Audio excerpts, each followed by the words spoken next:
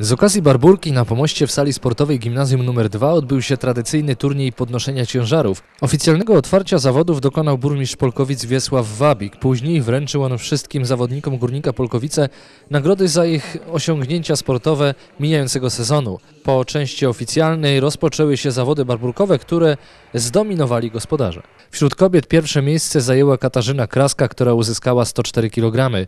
Tuż za nią uplasowała się Aleksandra Michalska, która zaliczyła udane podejście do sztangi o takim samym ciężarze. Wśród mężczyzn najlepszy okazał się weteran polkowickich ciężarów Adam Kraska, podrzucając 200 kg. Wyprzedził on swojego klubowego kolegę Mateusza Kasinę, który zaliczył udane podejście do sztangi o ciężarze 175 kg. Trzecie miejsce z wynikiem 145 kg zajął także zawodnik górnika Tomasz Rosoł.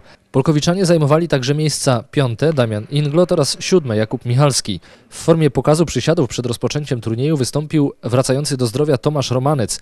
Przysiad ze sztangą o masie 220 kg. Barburkowy start sztangistów Górnika był ostatnim w sezonie 2015. Sezonie bardzo udanym, dodajmy, bo Polkowiczanie wywalczyli w różnych kategoriach wiekowych 9 medali Mistrzostw Polski.